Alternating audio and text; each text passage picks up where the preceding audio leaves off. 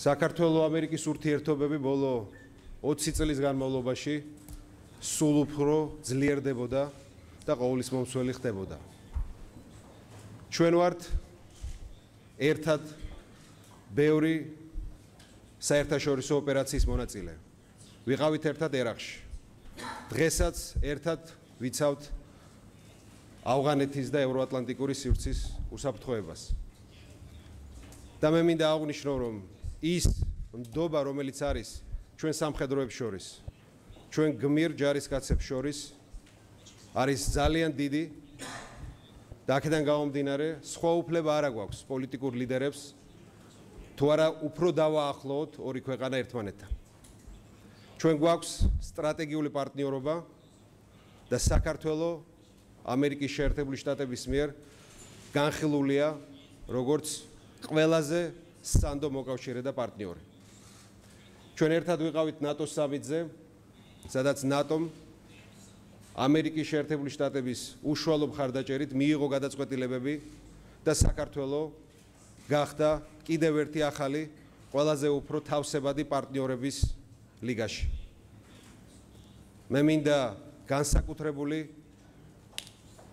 დამოკიდებულება გამოვხატო თავად ბატონი თავდაცვის მდივნის მიმართ. ჩვენთან არის ლიდერი რომელსაც საკუთარი ქვეყნის თვის ბრძოლაში ჭრილობები აქვს მიღებული და ყოველას ვისაც ომი გამოგვივლია და ესეთი ბევრია საქართველოში ვიღებთ მას როგორც საკუთარ თანამებრძოლს. ბატონო დივანო ჩვენთვის პატივია რომ დღეს აქ ხართ ჩვენ განვიხილეთ ძალიან ჩვენი ქვეყნებისთვის და რეგიონალური უსაფრთხოებისთვის უმნიშვნელოვანესი საკითხები ჩვენ ვისაუბრეთ უკრაინაში შექმნილ ვითარებაზე, რუსეთის სამხედრო აგრესიაზე და მიმდინარე პროცესებზე, თუ რამხელა საფრთხეს უქმნის რუსეთის ეს ქმედებები ევროატლანტიკურ უსაფრთხოებას, ევროპულ უსაფრთხოებას და ჩვენ უშუალოდ საქართველოს უსაფრთხოებას და შევთანხმდით, რომ ერთობლივად კოორდინაციაში ვიმოქმედებთ იმისთვის, რომ ჩვენ მოძმე უკრაინელ ხალხს აღმოუჩინოთ ყველა დახმარება, რაც მათ ჭირდებათ. ჩვენ რა თქმა უნდა მივესალმებით იმ მიღწეულ შეთანხმებას, რომ შეწყდეს ცეცხლი და ვიმედოვნებთ, რომ მომავალში პროცესები განვითარდება მშვიდობიანი გზით. ჩვენ ვისაუბრეთ ერაყში შექმნილ ვითარებაზე.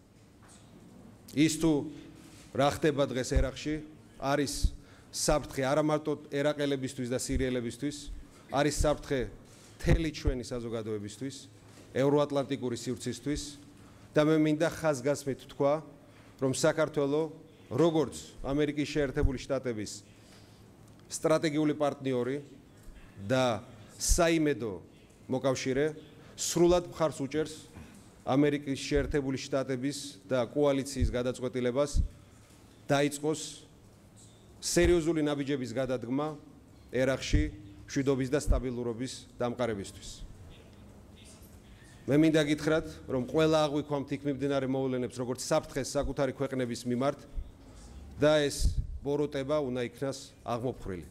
ამაში ამერიკის შეერთებულ შტატებს და რა თქმა უნდა ერაყელ ხალხს ეკნება ჩვენი თანადგომის იმედი.